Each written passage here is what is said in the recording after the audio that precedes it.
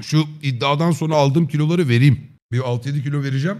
Bir de yakında çok büyük bir çekim var siz onu bilmiyorsunuz. Ve böyle taşaklı bir çekim. Oraya biraz iyi çıkmak lazım. Tosun gibi çıkmayalım. Millet filinta gibi amına koyayım. Tavuk tutar beni bir saat.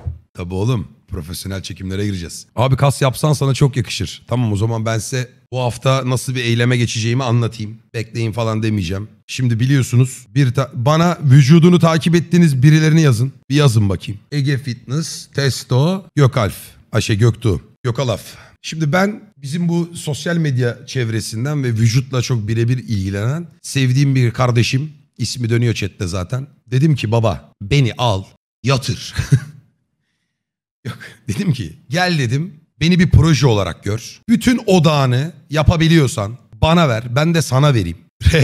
Beni dedim Aquaman'e çevir. Yer mi dedim lan götün yer mi dedim. O da dedi ki ya hayırdır amına koyayım bir gaza geldi. Ben de gaza geldim karşılıklı. Spor salonu mu, spor aleti mi, yemek mi, işte ne bileyim neyse hepsine uyacağım. Ne dersen onu yapacağım. Sen benim PT'm ol. Tamam dedi. Şimdi en son işte spor salonlarına baktık. Sonra evde mi yapsak dedik. Hani fitren muhabbeti aslında buydu size söylediğim zamanlarda ama ertelendi. Yine fitren olacak diye söylemiyorum. Sadece bilgi veriyorum. Öyle bir yola giriyorum. Bir de deneyelim bakalım hani kiloyu verdik. Bir de vücut yapalım la. Ya, Yakışmaz mı yani kaslı olmak şöyle bir omuzlar, kollar 55 santim, karın marın iyi.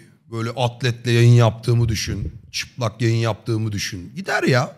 Bir de onu de deneyelim yani. Yakışmaz abi. Bakacağız. Ya bu arada şey olmayacağım oğlum ya. Yapamam iki günde body zaten vücut vücut. Sadece güzel bir vücudum olsun artık. Belim içinde aa Grounded'ın fullü çıkmış. Neyse işte öyle bir kafaya girdim. Bu tabii böyle zıt pırt sohbetini yapayım diye değil. Hem belim için hem de dedim ulan artık yeter ya. Yaşlanıyoruz oğlum. 34 yaşına geldik. 40 yaşıma kadar vücutlu gezeyim dedim yani. Sonra evlilik mevlilik bozarız zaten. Programı da bizde paylaşırsın değil mi? Aa ha, o açıdan eyvallahım var. Yani o açıdan ne biliyorsan bana ne aktarılıyorsa size aktarırım da işte uyarsanız. PT kim? Hmm, öncelikle dur bunu büyüsünü bozmamam lazım. PT'miz kim? Şimdi bu tip işlerde karşılıklı onay almak lazım. Ayıp olmasın. Belki de adam diyecek ki ya amına koyayım niye söylüyorsun? Kim olsun isterdiniz? Ya bu şimdi cevap vermez ki basıyordur oğlum bu şu an 400 kilo bacak çalışıyordur. Oğlum Ege Fitness'ta nasıl çalışayım? Adam Amerika'da ya.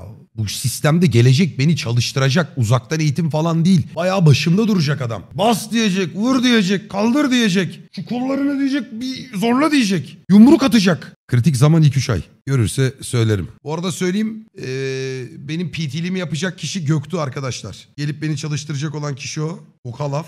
Bunu da unutmuştum söylemeyi. Bir kapanacağız bakalım ne olacak. Gokalaf. Gokalaf, Gokalaf. Música